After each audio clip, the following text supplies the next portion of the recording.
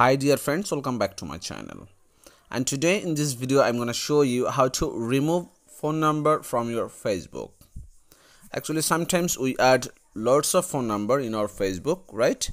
But in later we need to remove them.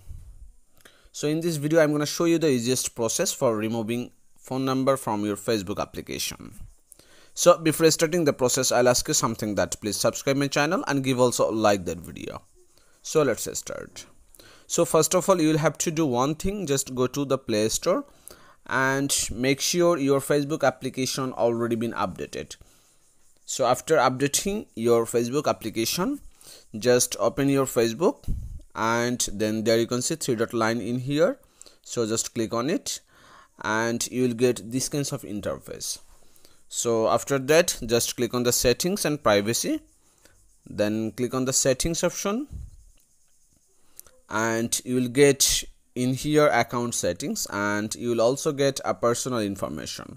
So just click on the personal information and then there you can see phone number option. So just click on it and wait for a few seconds. So there you can see current phone number. So i have already add one kinds of phone number in my facebook profile. So right now i need to remove it so for removing my phone number there you can see remove option. So just click on the remove option and wait again. And there you can see there is there are some question for you. Are you sure you want to remove this phone number from your account? So for that just select on the i understand that i could lose access to my account.